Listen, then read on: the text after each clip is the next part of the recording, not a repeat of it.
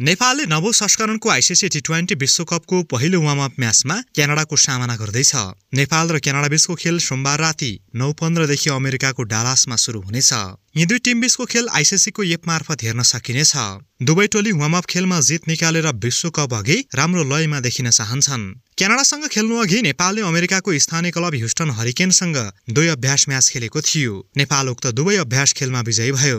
Nepali team अब Canada विरुद्ध पनि जित निकाल्दै अपराजित रहन चाहन्छ।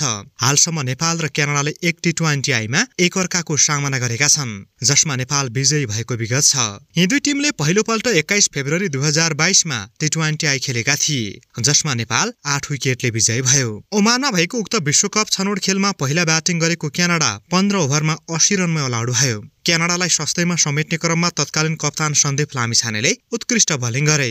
प्लेयर अफ द म्याच घोषित भएका उनले सो खेलमा चार ओभरमा बाह्र रन मात्र दिएर सर्वाधिक तीन विकेट लिए। यस्तै उक्त खेलमा अविनाश बोहरा र कमल सिंह ऐरीले दुई दुई तथा कुशल मल्लले एक विकेट हात पारे। क्यानाडाले दिएको एकासी रनको लक्ष्य नेपालले चौध दशमलव दुई ओभरमा दुई विकेटको क्षतिमा पूरा गर्यो। नेपालका लागि अभिजित रहेका कुशल भुर्तेलले चौतिस र दिपेन्द्र सिंह ऐरीले सत्ताइस रन बनाए। यस्तै आशिफ शेखले सत्र रन जोडे। नेपाली टिम यसपटक पनि उक्त नतिजा दोहोर्याउँदै क्यानाडा विरुद्ध दबदबा राख्ने सोचमा छ। नेपाली स्टार अलराउन्डर दिपेन्द्र सिंह ऐरीले क्यानाडा विरुद्धको म्याच पनि खेल्ने सम्भावना नै हुन्छ उनी अहिले खुट्टाको एङ्कलको चोटका कारण विश्राम गरिरहेका छन् र कप्तान र प्रशिक्षक दिपेन्द्रलाई क्यानाडा विरुद्धको खेलमा खेलाएर जोखिम लिन चाहँदैनन्। उनले क्यानाडा विरुद्धको वार्म अप म्याच खेल्ने सम्भावनाबारे कप्तान रोहित कुमार पौडेलले भनेका छन् वार्म अपको पहिलो खेलमा दिप्पी दाईलाई सोचेका छैनौ। दोस्रो खेल अवस्था हेरेपछि थाहा हुन्छ।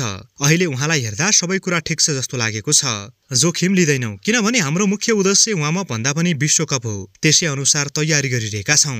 दिपेन्द्रले ह्युस्टन हरिकेनसँगको दुई अभ्यास म्याच पनि खेलेका थिएनन्।